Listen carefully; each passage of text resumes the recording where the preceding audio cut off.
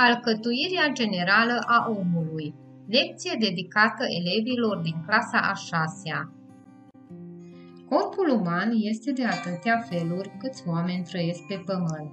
Forma, dimensiunea ori culoarea corpului este influențată atât de ses cât și de vârsta individului. Cu toate acestea, structura generală și funcția corpului uman sunt aceleași pentru toți oamenii.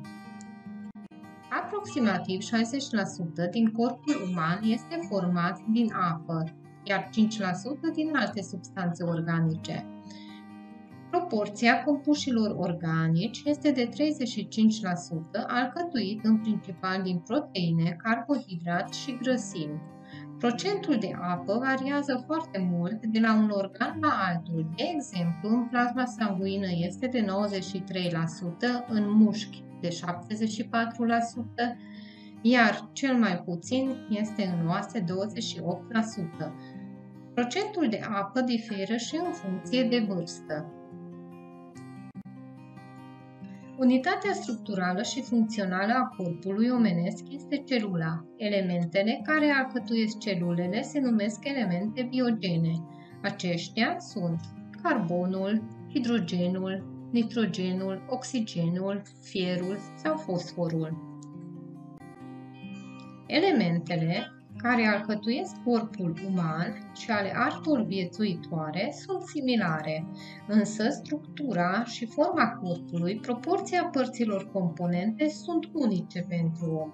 Acesta este consecința mersului pe două picioare și a posturii drepte.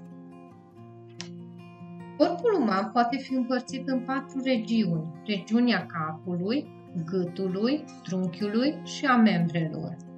Limita exterioară a corpului este pielea, iar mișcarea corpului este asigurată în principal de mușchi, iar rolul de sprijin de oase. Organele interne, în afara creierului, toate sunt localizate în regiunea trunchiului. Organele sunt grupate astfel încât să îndeplinească o anumită funcție de viață și alcătuiesc sisteme de organe. De exemplu, sistemul respirator are loc în respirație. Sistemul digestiv are rol digestiv.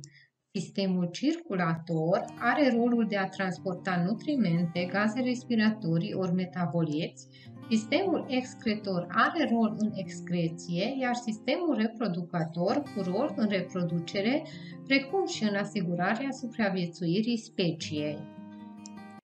Funcționarea tuturor sistemelor de organe este controlată de sistemul endocrin și sistemul nervos.